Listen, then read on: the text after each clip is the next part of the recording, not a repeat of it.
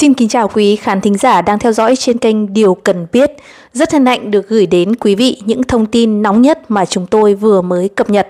Nhận hối lộ, bà Hoàng Thị Thúy Lan bị Trung ương khai trừ ra khỏi đảng. Ngày 21 tháng 3, Quốc hội khóa 15 đã họp kỳ họp bất thường lần thứ 6 để xem xét quyết định về công tác nhân sự. Tại phiên họp, Ủy ban Thường vụ Quốc hội đã có tờ trình về việc bãi nhiệm đại biểu Quốc hội đối với bà Hoàng Thị Thúy Lan. Bà Lan là cựu bí thư tỉnh ủy, chủ tịch Hội đồng Nhân dân tỉnh, trưởng đoàn đại biểu Quốc hội tỉnh Vĩnh Phúc. Quốc hội đã thảo luận tại đoàn về tờ trình của Ủy ban Thường vụ Quốc hội. Sau đó, Quốc hội đã bỏ phiếu kín và biểu quyết thông qua nghị quyết về việc bãi nhiệm đại biểu Quốc hội khóa 15 đối với bà Hoàng Thị Thúy Lan. Nghị quyết nêu rõ Ủy ban Thường vụ Quốc hội, Ủy ban Trung ương Mặt trận Tổ quốc Việt Nam, Ủy ban Mặt trận Tổ quốc Việt Nam tỉnh Vĩnh Phúc, đoàn đại biểu Quốc hội tỉnh Vĩnh Phúc và bà Hoàng Thị Thúy Lan theo trách nhiệm thi hành quyết định này. Nghị quyết có hiệu lực thi hành từ khi Quốc hội biểu quyết thông qua. Trước đó, chiều ngày 20 tháng 3, Ban chấp hành Trung ương Đảng đã họp về quyết định khai trừ khỏi Đảng đối với bà Hoàng Thị Thúy Lan,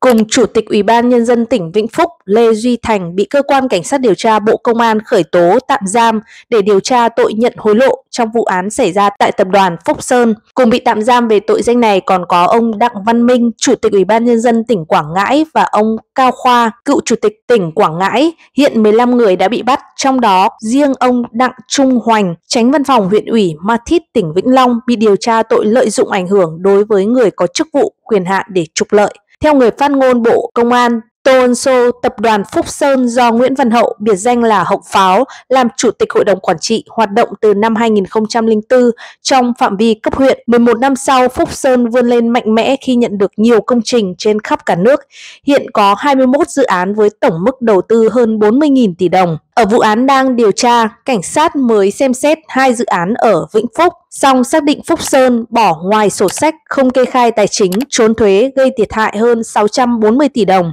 Bà Hoàng Thị Thúy Lan, 58 tuổi, quê Vĩnh Yên, tỉnh Vĩnh Phúc, trình độ cao đẳng sư phạm, cử nhân luật, Ủy viên Trung ương Đảng khóa 12, 13, đại biểu Quốc hội khóa 14, 15, xuất thân từ giáo viên cấp 2. Bà Lan sau đó giữ nhiều chức vụ trong tổ chức đoàn rồi làm trưởng ban dân vận, chủ nhiệm Ủy ban kiểm tra, trưởng ban tổ chức tỉnh ủy, phó bí thư tỉnh ủy Vĩnh Phúc. Từ tháng 2 năm 2015 đến khi bị bắt, bà làm bí thư tỉnh ủy Vĩnh Phúc. Đầu năm 2021, bà Thúy Lan vướng lùm xùm khi con gái Trần Huyền Trang 31 tuổi được bổ nhiệm làm phó giám đốc Sở Kế hoạch và Đầu tư tỉnh Vĩnh Phúc. Sau khi các cơ quan chức năng vào cuộc phát hiện sai phạm, con gái bà Lan đã rút quyết định bổ nhiệm. Bà Lan là bí thư tỉnh ủy đương nhiệm thứ 5 bị kỷ luật trong nhiệm kỳ 2020-2025. Trước đó vào tháng 7 năm 2021, bí thư tỉnh ủy Bình Dương Trần Văn Nam bị cách tất cả các chức vụ trong đảng, sau đó nhận 7 năm tù về tội vi phạm quy định về quản lý sử dụng tài sản nhà nước gây thất thoát lãng phí. Cuối năm 2022, Bí thư tỉnh ủy Hải Dương Phạm Xuân Thăng bị khai trừ ra khỏi đảng. Gần một năm sau, ông Thăng lĩnh 5 năm tù do nhận 4 tỷ đồng và chỉ đạo làm trái quy định đấu thầu trong vụ Việt Á. Tháng 10 năm 2023, Bí thư tỉnh ủy Bến Tre Lê Đức Thọ bị cách tất cả các chức vụ trong đảng do giải trình nguồn gốc tài sản không trung thực. Ông Thọ sau đó bị tạm giam để điều tra về tội lợi dụng chức vụ quyền hạn gây ảnh hưởng đối với người khác để trục lợi trong vụ án Xuyên Việt Oil. Tháng 1 năm 2024, Bí thư tỉnh ủy Lâm Đồng Trần Đức Quận bị khai trừ ra khỏi đảng sau khi cơ quan cảnh sát điều tra Bộ Công an khởi tố tạm giam để điều tra tội lợi dụng chức vụ trong khi thi hành công vụ. Ông Quận bị cáo buộc có sai phạm trong việc chỉ đạo giải quyết công việc liên quan đến siêu dự án Đại Ninh, tỉnh Lâm Đồng. Bị cáo Trương Mỹ Lan đề nghị mức án tử hình. Quá cao tay, bà Trương Mỹ Lan dùng chiêu này để thoát án tử hình, liệu có thành? Kính chào quý vị cô bác đang theo dõi trên kênh Điều Cần Biết. Thưa cô bác, trong 3 tháng đầu năm, một trong những vụ đại án kinh khủng nhất và được nhắc tới nhiều nhất chắc chắn đó chính là Vạn Thịnh Phát, Tới nay, dù biết bà Trương Mỹ Lan mang trọng tội mà mức án cao nhất là tử hình đi chăng nữa thì cũng là một điều hết sức bình thường và công tâm. Tuy nhiên, thật bất ngờ vì trong phiên tòa xét xử gần đây nhất vào ngày 15 tháng 3, cơ hội sống của bà Lan bất ngờ được tăng cao khi bà dùng kế sách cuối cùng là sử dụng tài sản đang có để khắc phục hậu quả do mình gây ra. Theo đại diện Viện Kiểm sát, đối với Trương Mỹ Lan, bị cáo này có nhiều tình tiết giảm nhẹ như phạm tội lần đầu, có nhiều đóng góp cho cộng đồng. Tuy nhiên, bị cáo phạm tội nhiều lần trong thời gian dài, phạm tội có tổ chức, không thành khẩn khai báo quanh co đổ lỗi cho cấp dưới, hành vi phạm tội gây hậu quả đặc biệt nghiêm trọng, không có khả năng thu hồi. Đại diện Viện Kiểm sát đề nghị hội đồng xét xử tuyên phạt bị cáo Trương Mỹ Lan mức án 20 năm tù về tội đưa hối lộ, 19 đến 20 năm tù về tội vi phạm quy định về cho vay trong hoạt động của các tổ chức tín dụng, tử hình về tội tham mô tài sản. Tổng hợp hình phạt bị cáo bị đề nghị là tử hình. Theo các tài liệu xác định từ năm 2011, bà Trương Mỹ Lan, việc sở hữu 91,5% cổ phần của SCB đã sử dụng doanh nghiệp này như một công cụ tài chính để huy động vốn phục vụ kinh doanh cá nhân và hệ sinh thái của Vạn Thịnh Phát. Với thủ đoạn chỉ đạo cán bộ ở SCB chuyển tiền giải ngân vào các công ty ma, sau đó thực hiện rút tiền mặt hoặc chuyển lòng vòng nhằm cắt đứt dòng tiền. Trong đó từ năm 2012 đến năm 2017, bị cáo này đã chỉ đạo lập hồ sơ khống cho 304 khách hàng, vay 368 khoản. Đến năm 2022, các khoản vay này dư nợ hơn 132 tỷ đồng cả gốc và lãi. Sau khi cấn trừ vào số tài sản đảm bảo các khoản vay này gây thiệt hại 64.600 tỷ đồng. Hành vi trong giai đoạn này của bà Lan là phạm tội vi phạm quy định về cho vay trong hoạt động của các tổ chức tín dụng. Từ tháng 2 năm 2018 đến tháng 10 năm 2022, bị cáo Trương Mỹ Lan đã chỉ đạo lập khống 916 hồ sơ vay vốn của SCB 542.000 tỷ đồng, chiếm đoạt 304.000 tỷ đồng, gây thiệt hại gần 130.000 tỷ đồng tiền lãi phát sinh. Trong thời gian dài thâu tóm SCB, Trương Mỹ Lan đã chỉ đạo đồng phạm giải ngân cho nhóm công ty hệ sinh thái Vạn Thịnh Phát tổng cộng hơn 2.500 khoản vay. Đến tháng 10 năm 2022, nhóm bà Lan và Vạn Thịnh Phát còn gần 1.300 khoản vay gây thiệt hại 677.000 tỷ đồng dư nợ gốc và lãi. Tuy nhiên, Viện Kiểm soát xác định Thiệt hại của vụ án là hơn 498.000 tỷ đồng trên cơ sở xem xét theo nguyên tắc có lợi cho các bị cáo sau khi cấn trừ đi giá trị của các tài sản đảm bảo. Các bị cáo Đinh Văn Thành đang bị truy nã, Võ Tấn Hoàng Văn, Bùi Anh Dũng đều là người có trình độ, nhận thức đầy đủ năng lực, có khả năng nhận thức được hành vi nào được phép và hành vi nào là trái pháp luật. Tuy vậy, hành vi của các bị cáo gây thất thoát đặc biệt lớn về kinh tế tạo dư luận xấu trong xã hội, dư luận xấu với quốc tế nên phải xử lý nghiêm mới đủ sức gian đe. Với các bị cáo đã bỏ trốn, cơ quan chức năng đã kêu gọi đầu thú nhưng các bị cáo từ bỏ quyền bảo vệ quyền lợi cho mình. Các lãnh đạo ngân hàng SCB với động cơ giúp sức tích cực cho bà Lan chiếm đoạt số tiền đặc biệt lớn, Viện Kiểm sát đánh giá, tuy thành khẩn khai báo, tích cực hợp tác với cơ quan điều tra giải quyết vụ án. Tuy nhiên, hành vi phạm tội của các bị cáo có nhiều tình tiết tăng nặng như có tổ chức, phạm tội nhiều lần trong thời gian dài gây hậu quả đặc biệt nghiêm trọng, nên cần phải có mức án tương xứng. Từ đó, Viện Kiểm sát đề nghị mức án tuyên Đinh Văn Thành, Bùi Anh Dũng và các cựu chủ tịch SCP, Võ Tấn Hoàng Văn, cựu tổng giám đốc mức án tù trung thân về các tội tham mô tài sản, vi phạm quy định về cho vay trong hoạt động của các tổ chức tín dụng hoặc vi phạm quy định về hoạt động ngân hàng. Bị cáo Trương Khánh Hoàng, cựu quyền tổng giám đốc SCB, Trần Thị Mỹ Dung, cựu phó tổng giám đốc SCB bị đề, bị đề nghị mức án 19 đến 20 năm tù về tội tham mô tài sản. Đối với bị cáo Trương Huệ Vân, cựu tổng giám đốc công ty cổ phần đầu tư tập đoàn Vạn Thịnh Phát, bị xác định thực hiện chỉ đạo cấp dưới thành lập sử dụng các công ty ma và giúp bà Lan chiếm đoạt hơn 1.088 tỷ đồng gây thiệt hại 25 tỷ của bà Lan. Từ đó, Viện Kiểm soát đề nghị tuyên phạt bị cáo mức án 19 đến 20 năm tù về tội tham ô tài sản. Ông Chu Lập Cơ, tỷ phú Hồng Kông, chồng bà Trương Mỹ Lan đã giúp sức cho bà Lan hàng chục khoản vay gây thiệt hại cho SCB 9.116 tỷ đồng. Bị cáo này bị đề nghị mức án 11 đến 12 năm tù về tội vi phạm quy định về cho vay trong hoạt động của các tổ chức tín dụng.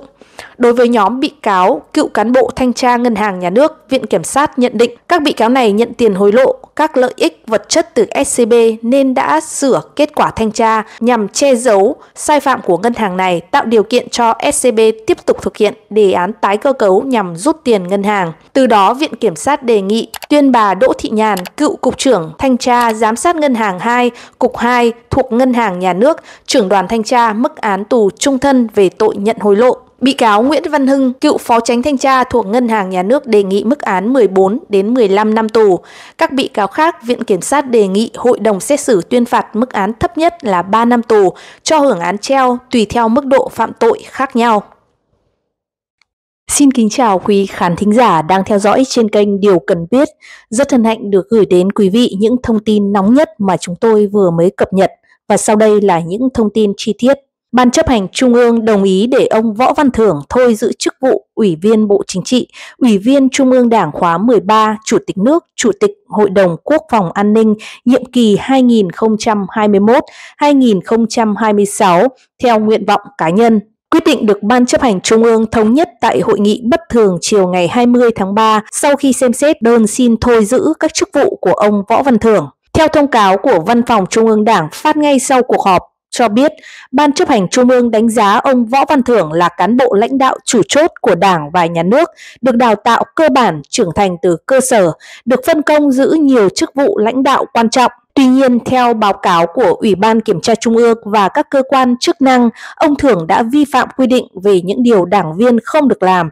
trách nhiệm nêu gương của cán bộ đảng viên trước hết là Ủy viên Bộ Chính trị, Ủy viên Ban Bí thư, Ủy viên Ban chấp hành Trung ương Đảng và chịu trách nhiệm người đứng đầu theo các quy định của Đảng và pháp luật của nhà nước. Những vi phạm, khuyết điểm của ông Võ Văn Thưởng đã gây ra dư luận xấu, làm ảnh hưởng đến uy tín của Đảng và nhà nước cũng như cá nhân. Nhận thức rõ trách nhiệm trước Đảng, nhà nước và nhân dân, ông Thưởng đã có đơn xin thôi giữ chức vụ, được phân công và nghỉ công tác. Đây là hội nghị bất thường lần thứ 6 của Ban chấp hành Trung ương kể từ đầu nhiệm kỳ năm 2021 đến năm 2026. Ban chấp hành Trung ương Đảng giao cho Bộ Chính trị chỉ đạo các cơ quan liên quan để triển khai thực hiện các thủ tục theo quy định. Chủ tịch nước là chức danh do Quốc hội bầu trong số đại biểu Quốc hội. Do đó, quy trình miễn nhiệm Chủ tịch nước đối với ông Võ Văn Thưởng sẽ do Quốc hội tiến hành. Ông Võ Văn Thưởng tuyên thệ nhận chức Chủ tịch nước tại kỳ họp bất thường lần thứ tư Quốc hội khóa 15 hồi đầu tháng 3 năm 2023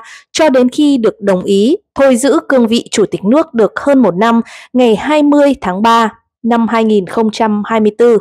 Hơn một năm trước, vào ngày mùng 2 tháng 3 năm 2023, ông Võ Văn Thưởng, lúc đó là Ủy viên Bộ Chính trị, Thường trực Ban Bí thư, được Quốc hội bầu giữ chức Chủ tịch nước nhiệm kỳ 2021-2026 thay ông Nguyễn Xuân Phúc xin thôi nhiệm vụ. Ông Võ Văn Thưởng, 54 tuổi, là thạc sĩ triết học, quê huyện Mang Thít, tỉnh Vĩnh Long, là chủ tịch nước trẻ tuổi nhất khi nhậm chức. Ông được bầu làm Ủy viên Trung ương dự khuyết khóa 10 lúc 36 tuổi, Ủy viên Trung ương 3 khóa liên tiếp 11, 12, 13, đại biểu Quốc hội 3 khóa 12, 14, 15, Ủy viên Bộ Chính trị 2 khóa 12, 13. Nhận thức rõ trách nhiệm trước Đảng, Nhà nước và nhân dân, ông đã có đơn xin thôi giữ các chức vụ được phân công và nghỉ công tác. Căn cứ vào quy định hiện hành của Đảng, Nhà nước và xem xét nguyện vọng của ông Võ Văn Thưởng, Ban chấp hành Trung ương Đảng đồng ý để ông Võ Văn Thưởng thôi giữ các chức vụ Ủy viên Bộ Chính trị, Ủy viên Ban chấp hành Trung ương Đảng khóa 13, Chủ tịch nước Cộng hòa xã hội chủ nghĩa Việt Nam,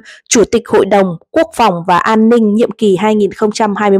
2021-2026, Ban chấp hành Trung ương Đảng giao cho Bộ Chính trị chỉ đạo các cơ quan liên quan triển khai thực hiện các thủ tục theo quy định.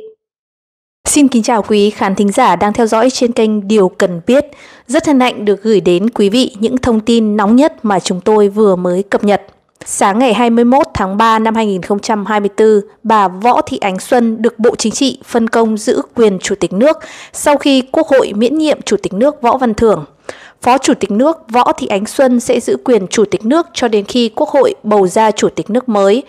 Việc này căn cứ vào Hiến pháp năm 2013, Luật Tổ chức Quốc hội và kết luận của Bộ Chính trị về phân công Ủy viên Trung ương Đảng giữ quyền Chủ tịch nước. Đây là lần thứ hai trong nhiệm kỳ 2021-2026, bà Xuân được phân công giữ quyền Chủ tịch nước. Tháng 1 năm 2023, bà giữ quyền Chủ tịch nước trong hơn một tháng, từ lúc Quốc hội miễn nhiệm Chủ tịch nước Nguyễn Xuân Phúc cho đến khi bầu ông Võ Văn Thưởng đảm nhiệm cương vị. Bà Võ Thị Ánh Xuân, 54 tuổi, cử nhân, sư phạm hóa học, thạc sĩ chuyên ngành quản lý công, quê huyện Tịnh Biên, tỉnh An Giang. Bà là Ủy viên Trung ương Đảng hai khóa 12, 13, khóa 11 dự khuyết, đại biểu Quốc hội khóa 14, 15. Bà Xuân xuất thân là giáo viên cấp 2 ở thị xã Long Xuyên. Sau đó bà kiêm qua nhiều chức vụ Phó Chủ tịch rồi Chủ tịch Hội Liên hiệp Phụ nữ tỉnh, Phó trưởng Ban Dân vận tỉnh ủy, Bí thư tỉnh ủy Tân Châu, Phó Chủ tịch tỉnh, Phó Bí thư rồi Bí thư tỉnh ủy An Giang. Tháng 4 năm 2021, bà được Quốc hội bầu làm Phó Chủ tịch nước ở tuổi 51 và làm Phó Chủ tịch nước trẻ nhất lịch sử. Nguyên Phó Chủ tịch nước Đặng Thị Ngọc Thịnh khi đó đánh giá bà Võ Thị Ánh Xuân đã thể hiện được năng lực qua nhiều vị trí công tác và hội tụ đủ 5 chữ T bao gồm trí tuệ, tự tin, trẻ đẹp, tiến bộ và thành công. Trong gần 3 năm giữ cương vị Phó Chủ tịch nước, bà Xuân có nhiều chuyến công du đến các nước như Bulgaria, Hy Lạp, Bồ Đào Nha, Kazakhstan tham dự hội nghị thượng đỉnh phụ nữ toàn cầu năm 2021-2023 tại Bồ Đào Nha và, và UAE. Trên cương vị quyền Chủ tịch nước, tháng 2 năm 2023, bà đã trao quyết định bổ nhiệm 13 đại sứ mới ở Việt Nam tại nước ngoài. Xin kính chào quý khán thính giả đang theo dõi trên kênh Điều Cần Biết. Rất hân hạnh được gửi đến quý vị những thông tin nóng nhất mà chúng tôi vừa mới cập nhật và sau đây là những thông tin chi tiết. Ban chấp hành Trung ương đồng ý để ông Võ Văn Thưởng thôi giữ chức vụ Ủy viên Bộ Chính trị, Ủy viên Trung ương Đảng khóa 13, Chủ tịch nước, Chủ tịch Hội đồng Quốc phòng An ninh nhiệm kỳ 2021-2026 theo nguyện vọng cá nhân. Quyết định được Ban chấp hành Trung ương thống nhất tại hội nghị bất thường chiều ngày 20 tháng 3 sau khi xem xét đơn xin thôi giữ các chức vụ của ông Võ Văn Thưởng. Theo thông cáo của Văn phòng Trung ương Đảng phát ngay sau cuộc họp, cho biết Ban chấp hành Trung ương đánh giá ông Võ Văn Thưởng là cán bộ lãnh đạo chủ chốt của Đảng và Nhà nước, được đào tạo cơ bản trưởng thành từ cơ sở, được phân công giữ nhiều chức vụ lãnh đạo quan trọng. Tuy nhiên, theo báo cáo của Ủy ban Kiểm tra Trung ương và các cơ quan chức năng, ông Thưởng đã vi phạm quy định về những điều đảng viên không được làm, trách nhiệm nêu gương của cán bộ đảng viên trước hết là Ủy viên Bộ Chính trị, Ủy viên Ban Bí thư, Ủy viên Ban chấp hành Trung ương Đảng và chịu trách nhiệm người đứng đầu theo các quy định của Đảng và pháp luật của nhà nước. Những vi phạm, khuyết điểm của ông Võ Văn Thưởng đã gây ra dư luận xấu, làm ảnh hưởng đến uy tín của Đảng và nhà nước cũng như cá nhân. Nhận thức rõ trách nhiệm trước Đảng, nhà nước và nhân dân, ông Thưởng đã có đơn xin thôi giữ chức vụ, được phân công và nghỉ công tác. Đây là hội nghị bất thường lần thứ 6 của Ban chấp hành Trung ương kể từ đầu nhiệm kỳ năm 2021 đến năm 2026. Ban chấp hành Trung ương Đảng giao cho Bộ Chính trị chỉ đạo các cơ quan liên quan để triển khai thực hiện các thủ tục theo quy định. Chủ tịch nước là chức danh do Quốc hội bầu trong số đại biểu Quốc hội. Do đó, quy trình miễn nhiệm Chủ tịch nước đối với ông Võ Văn Thưởng sẽ do Quốc hội tiến hành. Ông Võ Văn Thưởng tuyên thệ nhận chức Chủ tịch nước tại kỳ họp bất thường lần thứ tư Quốc hội khóa 15 hồi đầu tháng 3 năm 2023 cho đến khi được đồng ý thôi giữ cương vị Chủ tịch nước được hơn một năm ngày 20 tháng 3 năm 2024. Hơn một năm trước, vào ngày mùng 2 tháng 3 năm 2023, ông Võ Văn Thưởng, lúc đó là Ủy viên Bộ Chính trị, Thường trực Ban Bí thư, được Quốc hội bầu giữ chức Chủ tịch nước nhiệm kỳ 2021-2026 thay ông Nguyễn Xuân Phúc xin thôi nhiệm vụ. Ông Võ Văn Thưởng, 54 tuổi, là thạc sĩ triết học, quê huyện Mang Thít, tỉnh Vĩnh Long, là chủ tịch nước trẻ tuổi nhất khi nhậm chức. Ông được bầu làm Ủy viên Trung ương dự khuyết khóa 10 lúc 36 tuổi, Ủy viên Trung ương 3 khóa liên tiếp 11, 12, 13, đại biểu Quốc hội 3 khóa 12, 14, 15, Ủy viên Bộ Chính trị 2 khóa 12, 13. Nhận thức rõ trách nhiệm trước Đảng, Nhà nước và nhân dân, ông đã có đơn xin thôi giữ các chức vụ được phân công và nghỉ công tác. Căn cứ vào quy định hiện hành của Đảng, Nhà nước và xem xét nguyện vọng của ông Võ Văn Thưởng, Ban chấp hành Trung ương Đảng đồng ý để ông Võ Văn Thưởng thôi giữ các chức vụ Ủy viên Bộ Chính trị, Ủy viên Ban chấp hành Trung ương Đảng khóa 13, Chủ tịch nước Cộng hòa xã hội chủ nghĩa Việt Nam, Chủ tịch Hội đồng Quốc phòng và An ninh nhiệm kỳ 2021-2026, Ban chấp hành Trung ương Đảng giao cho Bộ Chính trị chỉ đạo các cơ quan liên quan triển khai thực hiện các thủ tục theo quy định.